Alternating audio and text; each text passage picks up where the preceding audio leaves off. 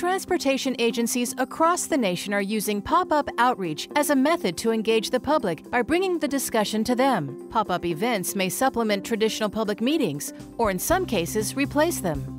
Pop up outreach can take place wherever people congregate, from a bus stop or library to a major mall, fair, or festival. The New Jersey Department of Transportation used pop up events as one element in their comprehensive outreach program for the rehabilitation of the Pulaski Skyway.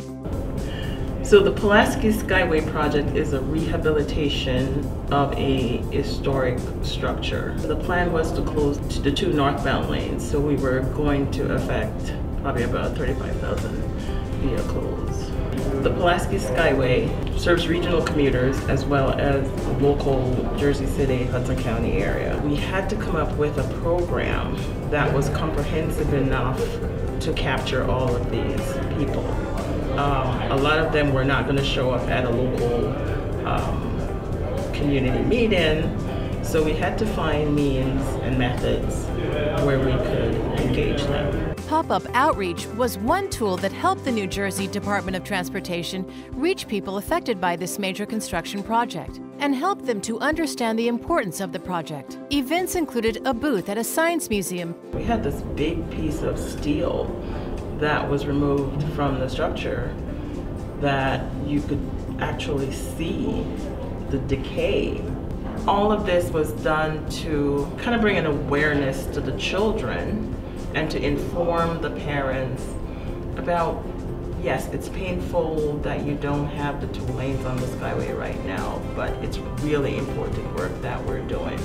The Minnesota Department of Transportation conducted pop up outreach in urban and rural locations around the state to gather feedback for their multimodal transportation plan using a tablet based survey. One of our early engagement uh, opportunities is we found uh, the zombie pub crawl uh, in downtown Minneapolis, which is a big draw for uh, younger people. And um, we had two of our, our staff members um, had the idea to go down and bring the iPad uh, surveys uh, with them. And um, they went down before the event uh, opened. Um, but before the event opened, the gates were, were closed and people were milling around, not doing anything. It was a captive audience uh, that were more than willing to stand there and fill out uh, one or two or both surveys.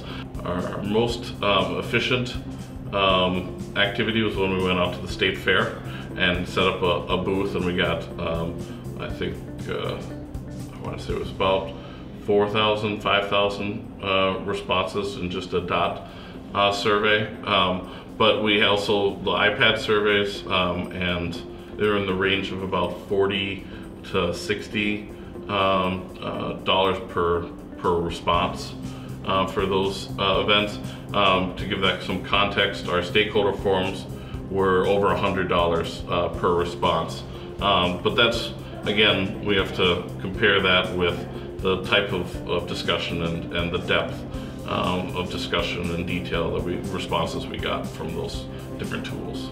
For our different uh, tools, we found that um, many of our uh, innovative tools um, uh, per response um, were less expensive than some of our traditional engagements. Pop up outreach provides a quick, informal way to get the word out and get a sense of what's important to the public. Materials are easily replicated and can be used to engage different communities throughout a state or region.